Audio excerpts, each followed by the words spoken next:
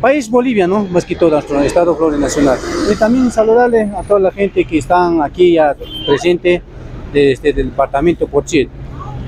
Y eh, hoy en la coyuntura hablando eh, como departamento Pochit, nosotros estamos aquí ya presentes más de 200 buses, eh, casi como unos 10 mil y más personas, ¿no? es porque nosotros venimos así por la unidad eh, para unificar lo que es las uh, como organizaciones sindicales. Es por eso donde hoy día un gran marcha en Cabildo donde se va a llevar por la, por la unidad del pueblo por el bien de las organizaciones sociales.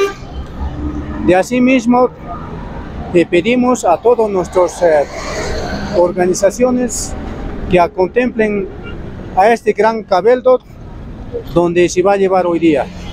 Es por eso este cabeldo donde se está llevando es netamente orgánico, no es político, ¿no? No es político, repitiendo. De esa, de esa manera, es, mi nombre es Hilarión Flores Sumacero, ejecutivo de la Federación Única Departamental Poche. Es una fiesta hoy de las organizaciones sociales, es el cabildo del pueblo. Sí, eh, hoy 17 de octubre, que se recuerda tal vez aquellos eh, malos gobiernos que hacían daño al país, como el Gómez Sánchez de Rosada, ahora hoy ya también nos... Eh,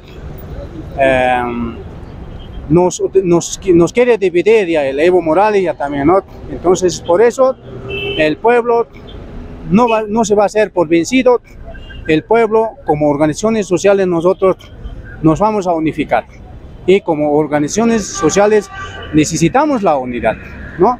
Es por eso se ha llamado por el pacto de unidad este gran cabildo nacional.